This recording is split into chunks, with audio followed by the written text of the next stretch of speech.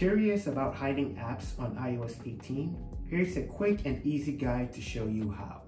The first thing you want to know is that this works for third-party apps. This does not work with Apple's first-party apps at the time of this recording. In order to hide your apps, you want to long press on the app you want to hide, and then you want to select require face ID. If your device has touch ID, it's going to say require touch ID.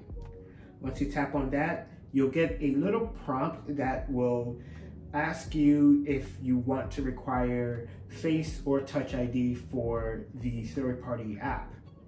What we want to select is hide and request face ID.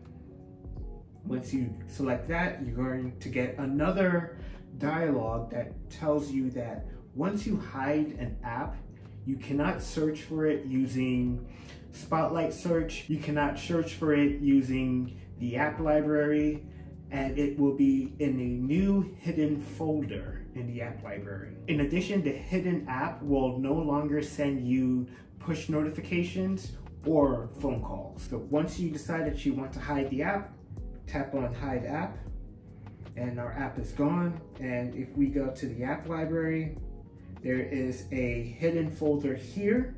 Once you tap on that, authenticate with Face ID, then you will see the app in question. And from there, you can long press and select don't require Face ID.